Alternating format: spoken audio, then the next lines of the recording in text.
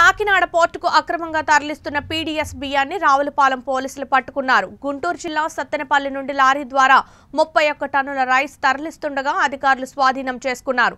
Media ఇచ్చిన సమాచారం మేరకు రంగంలోకి దిగిన పోలీస్ సిబ్బంది లోడ్ వచ్చే సమయానికి తనిఖీలు చేపట్టారు. మనకు పద్నాలుగు జూలై పద్నాలుగు రెండు వేల ఇరవై ఒకటి తెల్లవారుజామున మూడున్నర గంటలకి మన రావులపాలెం నేషనల్ హైవే సిక్స్టీన్ అరటికాయ మార్కెట్ ఎదురుగా అరటికాయల మార్కెట్ ఎదురుగా ఈ ఒక లారీని అంటే మేము ఒక ఏడుగురు ప్రింట్ అండ్ ఎలక్ట్రానిక్ మీడియా రిపోర్టర్స్ని ఒక లారీని ఆపడం జరిగిందండి. నాలుగు బైక్స్లో వచ్చి.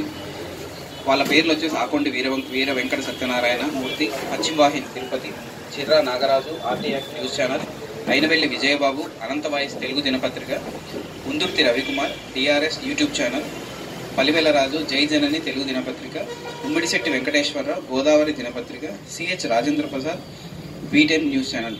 వీళ్ళ ఏడు మంది కలిసి నాలుగు మోటార్ సైకిల్తో తనుగు వైపు మన వెళ్తున్నాం A thirty nine Y eight four eight four number గల ఒక బియ్యం లారీని ఆపడం జరిగిందండి. డ్రైవర్ను నీ వెహికల్లో పీడిఎస్ రైస్ ఉంది.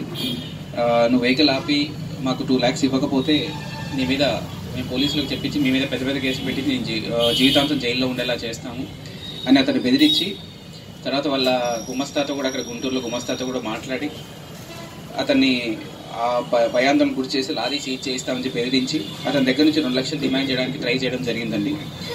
మనకి ఈ లారీ అంటే ప్రాపర్టీ ఓనర్ సాక్ష్యం డ్రైవర్ సాక్ష్యం మేరకు ఇవి ఏడు మంది మీద రావులపాలెం స్టేషన్లో two fifty three by twenty twenty one కింద కేసు నమోదు చేయడం జరిగిందండి. దర్యాప్తులో భాగంగా ఈ ఇవి ఏడు మందిలో ఆరుగురు ముద్దాయిల్ని అరెస్ట్ చేసి వారి దగ్గర నుంచి నాలుగు మోటార్ సైకిళ్ళు ఏడు సెల్ ఫోన్లు సీజ్ చేయడం జరిగింది.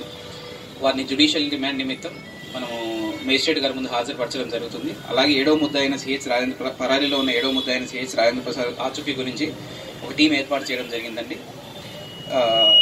ఏదన్నా మీకు ఏదన్నా మనకు ఈ ఏదైనా మనకి ఇల్లీగల్ యాక్టివిటీస్ కానీ ఏదైనా ఎన్ఫోర్స్మెంట్ రిలేటెడ్ యాక్టివిటీస్ కానీ మీ దృష్టికి ఇన్ఫర్మేషన్ వస్తే ఎవరైనా సరే పబ్లిక్ కానీ ఎవరికైనా మనకు ఎన్ఫోర్స్ చేయడానికి పోలీస్ ఉంది లేకపోతే సెఫ్ ఉంది విజిలెన్స్ ఉంది రెవెన్యూ డిపార్ట్మెంట్ ఉంది సరఫరాల శాఖ ఉంది వీళ్ళందరికీ ఇన్ఫార్మ్ చేసి మనం చట్ట ప్రకారం తీసుకోవాల్సి ఉంటుంది.